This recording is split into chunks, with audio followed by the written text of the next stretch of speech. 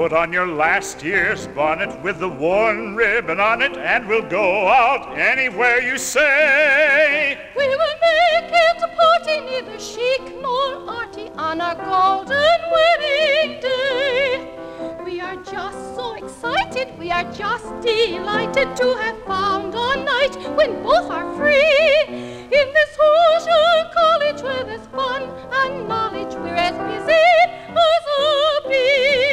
And though it may seem gruesome, we will make it a twosome And we'll eat out Tudor Room buffet. There we'll dine on turkey, feeling gay and perky on our golden wedding.